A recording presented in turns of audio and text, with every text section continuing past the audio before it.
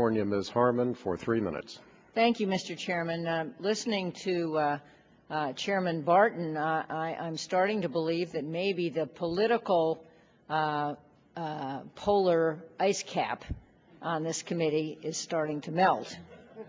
At least the the beginning of his statement implied that. But I I just wanted to know, and I I I was chatting with my colleague, Mr. Doyle, that some of us all the way over here also think uh, we need to do what we can with hydrogen and build the infrastructure, and we need to explore safe uses of nuclear power in our future. So just maybe uh, we'll move along smartly here. I, I do, however, want to endorse the cap and trade idea strongly uh, for CO2. Uh, we heard uh, from former uh, Vice President Gore last week that uh, cap and trade program is a time-tested means of harnessing the market to reduce emissions, and reduce emissions we must.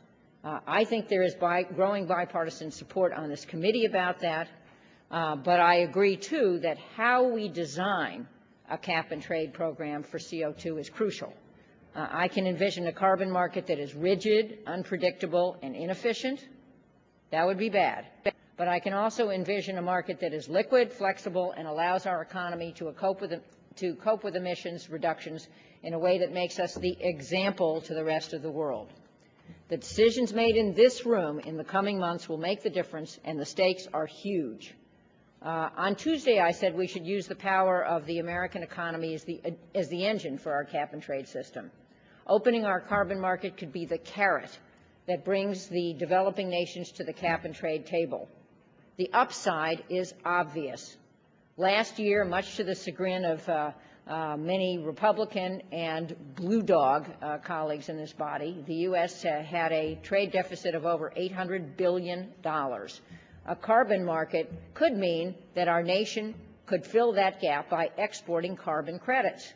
If developing nations want to sell us credits and American businesses want to sell their own credits overseas, American ingenuity can win, and so can our fragile environment. I just want to close by saying that I'm bullish on American ingenuity and bullish on the potential of this committee uh, to get it right if we work together, have open minds, and learn from the experience on cap and trade. Uh, I yield back the balance of my time. Thank you very much, Ms. Harman. The